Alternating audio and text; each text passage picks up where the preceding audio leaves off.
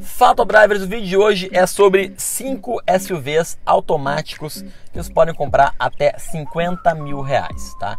Então, pessoal, eu pensei em alguns carros que se consegue comprar. É claro que é um perfil que varia bastante, né? Tem gente que gosta mais de desempenho, tem gente que gosta mais de espaço interno, tem gente que gosta mais de um carro que é para família, tem gente que gosta mais de um carro que tenha uh, que seja um pouco mais valente aí para uh, terrenos diferentes. Mas a lista vai começar agora, então, pessoal, lembrando que não necessariamente esses carros são dicas de compra aqui do canal, mas são cinco SUVs automáticos que vocês podem comprar até 50 mil. Vou comentar sobre cada um deles, tá? Com vocês.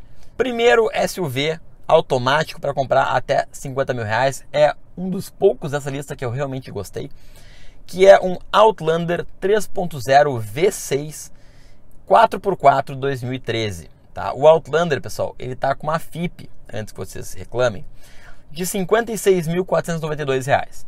Mas eu duvido, eu duvido que não tire esse carro aí por 50 mil reais. Ainda mais com essa história do corona agora, que quem todo mundo sabe que a economia vai estar numa situação bem difícil e vai ter muita gente precisando de dinheiro. O cara que tem uma Outlander 2013 V6 não está com tanta facilidade não de vender esse carro, tá? Então, V6 3.0, 240 cavalos, pessoal. Na época, esse carro custava mais de 130 mil reais. Era um carro bem legal, eu lembro que ele tinha inclusive o emblema GT na frente. Eu gostava muito desse Outlander quando ele foi lançado. E ainda 4x4 V6 não deve dar problema algum aí para quem quer enfrentar alguma duna ou quem em algum local de, de, de, um acesso um pouco mais difícil. Além, é claro, de ser um carro japonês que não estraga nunca, né? Então, uh, claro, ele pode ter alguma peça que seja um pouco mais cara, mas eu vi relatos de donos de Outlander que conseguiram uh, peças para Outlander no Mercado Livre a um custo bem acessível. Tá? Então esse aqui é o primeiro carro da lista de SUVs automáticos até 50 mil reais, ou seja, pode colocar a família inteira dentro do carro, tem bastante espaço interno e tem um desempenho que é muito bom. Então é, é o único praticamente dessa lista aí que a gente está trazendo que é realmente um SUV top driver. Tá? Agora se preparem porque o perfil ele vai mudar bastante.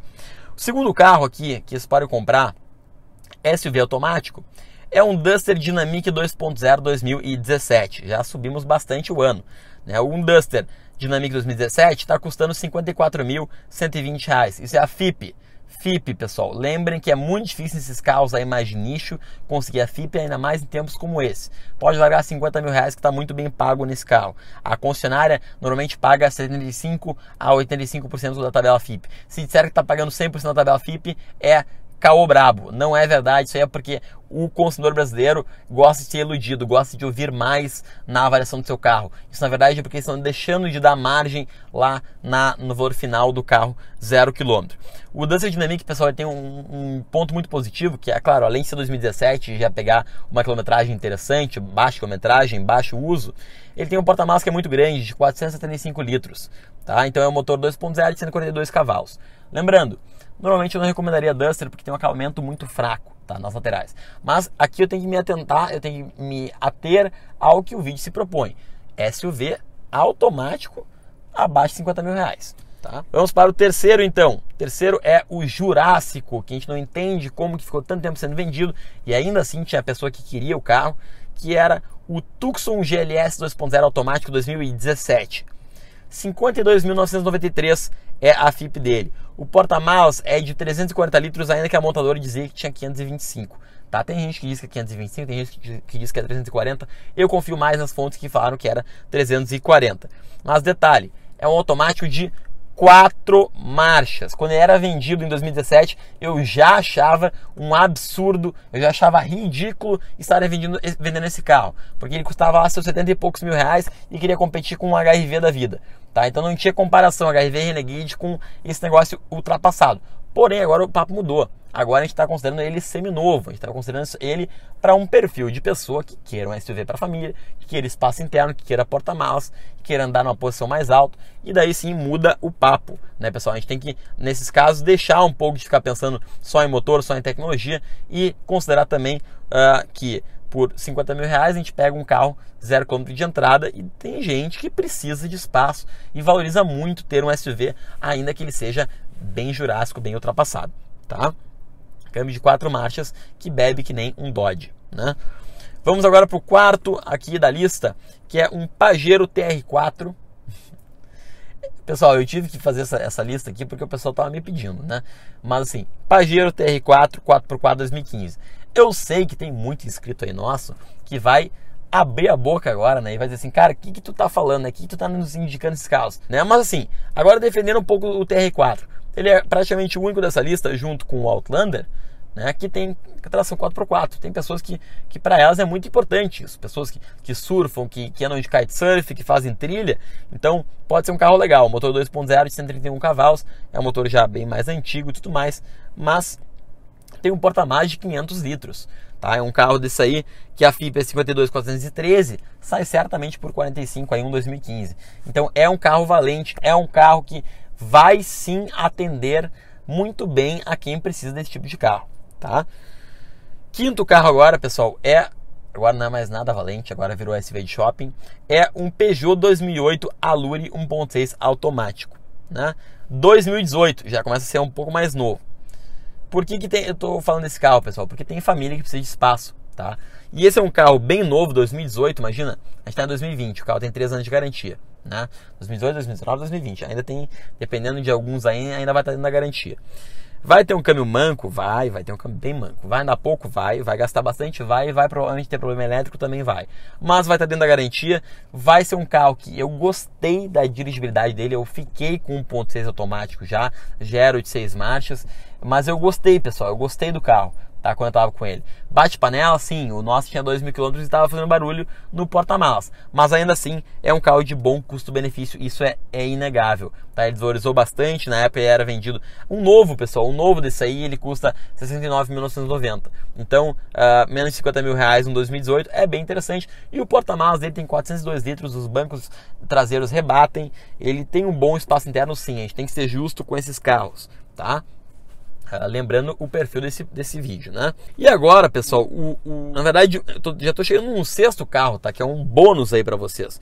Né? Eu falei da Outlander, eu falei do Duster, lembrando, falei da Outlander V6, muito massa, 4x4, 3.0, né? Eu falei da Duster Dynamic, é um carro forte, um carro para quem é sem frescura, bota tralha dentro, não estraga, apesar de ter um acabamento ruim. Eu falei do Tucson GLS Jurássico, que eu ficava inconformado com ele, mas chegou um momento então que ele passa a fazer sentido para um determinado perfil de pessoa. Não estou tirando sarro, estou falando a verdade. Né? É, tem gente que realmente trabalha carregando coisa, trabalha, tem uma família grande, precisa viajar, não se importa tanto com o consumo, não se importa tanto com tecnologia. Uh, o Pajero TR4 também vai ter um perfil específico de pessoas, já até um 4x4 2015. E o Peugeot 2008 Allure tem espaço interno e é bem novo, 2018, tá? Vamos para o último então agora, EcoSport SE 1.6 2017.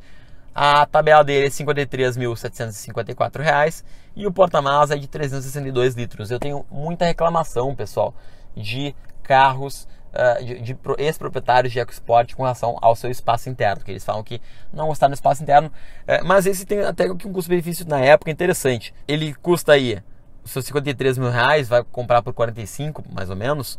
Tem um motor 1.6 de 115 cavalos, já saiu de linha esse 1.6, agora é 1.5 de 3 cilindros mais tecnológico, mais econômico.